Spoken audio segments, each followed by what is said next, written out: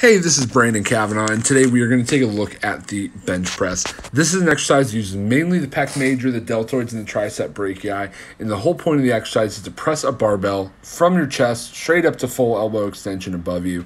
Uh, it's a great exercise and a really big push exercise that many people enjoy.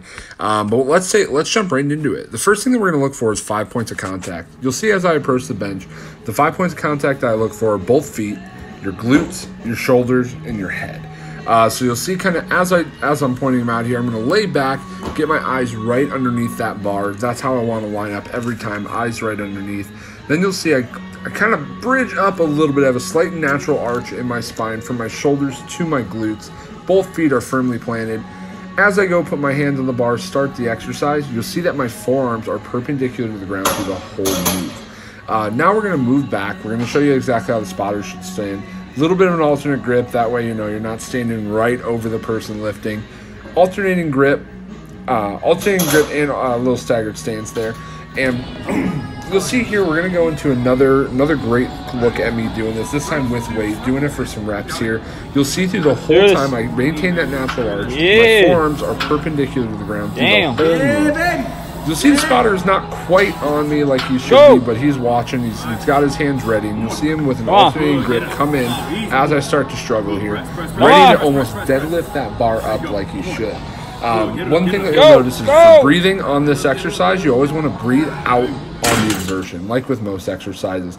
So when you breathe out on the exertion, what that means is you are going to be put, breathing out as the bar comes up from your chest. You'll see this is a little bit of a failed one that I wanted to show as well. You'll see that right arm really lags behind, and that was smart of the smart of the spotter to really jump in immediately uh, and grab that off me, a little bit too much weight. One big thing that I also want to add here is that special populations can do this. There really isn't anyone who is exempt.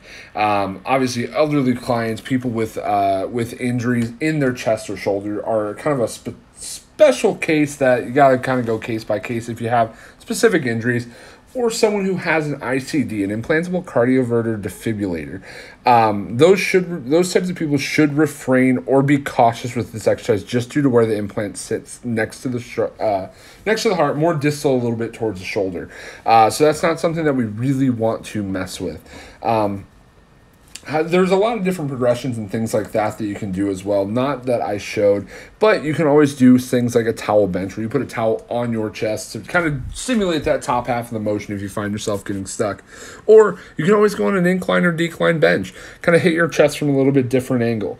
Um, so there's a lot of different things just with a barbell. You can always switch it up, do some dumbbell bench, do some things like that, or even go body weight and do a push up circuit. Uh, there's tons of different ways to go about this, tons of different ways to have tons of fun uh, with the bench. If you have any questions, uh, feel free to reach out, leave comments in the in the post below.